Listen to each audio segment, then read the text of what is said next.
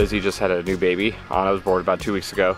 And uh, ended up getting a late start for the group I was going to do with uh, Don today. Sorry, Don. And uh, I was going to try and take some pictures and videos because talking to other people is a lot more interesting than me talking to the camera. I don't know. Uh, I don't have terribly interesting, interesting things to say when I'm just riding around on my bike.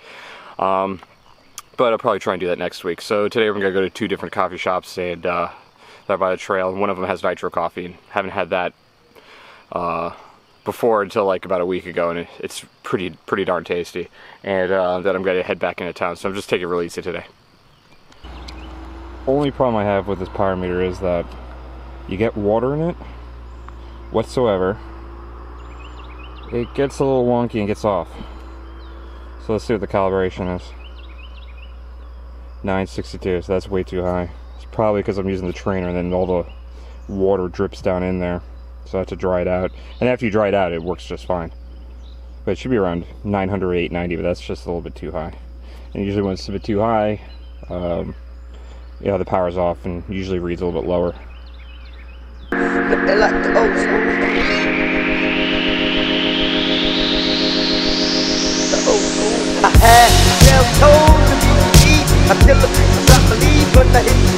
I'll bring it down, Leo, I kiss. Before the whole in my hood turned it back a bit. I remember way back, 50 they had.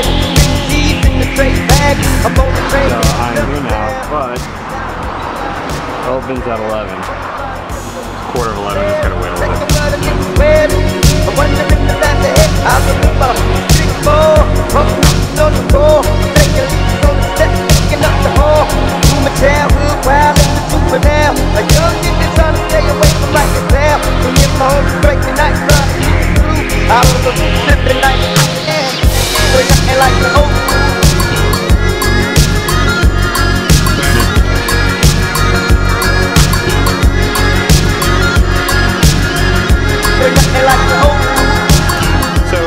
Is good. Uh, it's about five dollars though. I wouldn't say it's. Uh, I don't know.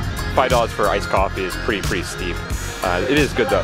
Nice thing about that place though is that they have food, lots of good food, and they also sell lots of bottles of wine. So, uh, and the reason we price bottles of wine too.